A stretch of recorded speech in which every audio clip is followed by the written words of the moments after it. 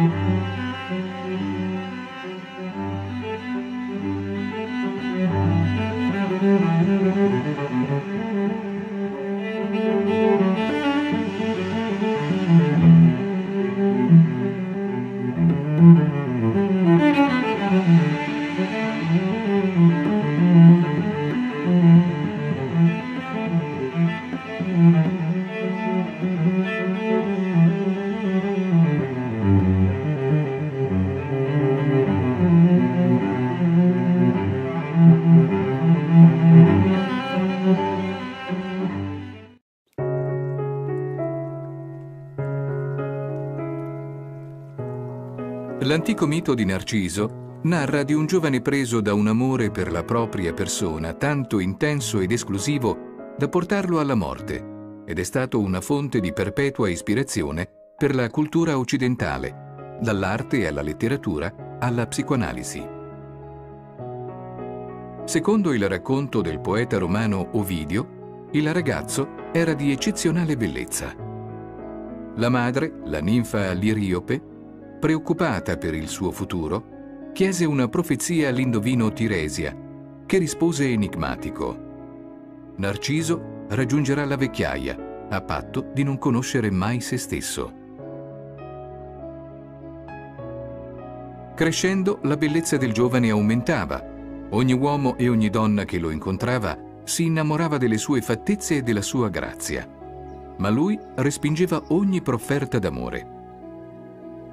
Un giorno la ninfa Eco seguì furtiva il giovane nei boschi, osservando da lontano la figura amata.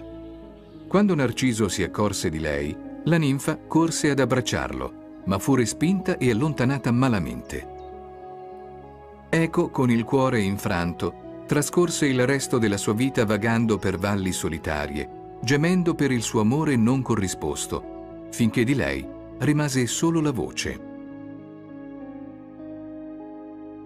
Udendo i suoi lamenti, Nemesi, la dea della vendetta, decise di punire il crudele Narciso. Accadde così che il ragazzo, mentre attraversava un bosco, vide un profondo specchio d'acqua e vi si avvicinò per bere.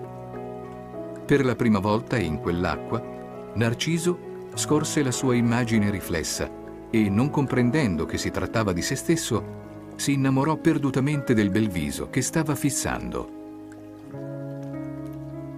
Quando si accorse che quella che stava guardando era la propria immagine, capendo che non avrebbe mai potuto vedere ricambiato il proprio amore, si lasciò morire, imprigionato nell'ossessione per la propria perfezione.